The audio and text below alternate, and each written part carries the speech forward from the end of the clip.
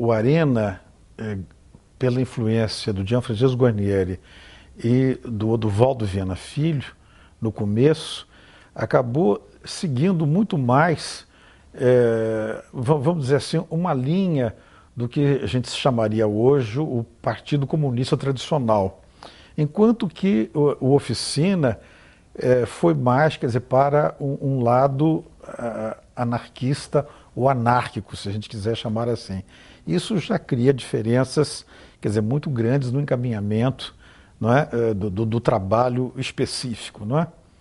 Embora isso, quer dizer, também não, não, não, não, não, não tivesse, é, vamos dizer, conotação apenas política, havia preocupação ideológica, mais estética, no sentido de que o Boal, nessa fase final, ele estava mais sozinho, o Vianinha tinha ido para o Rio de Janeiro, e, e, ele estava desenvolvendo, aliás, ele fez de parceria com o Guarnieri, é, tanto o Zumbi, Arena contra Zumbi, como Arena contra Tiradentes, em que a influência de Brecht estava muito é, marcada nessa adaptação brasileira não é?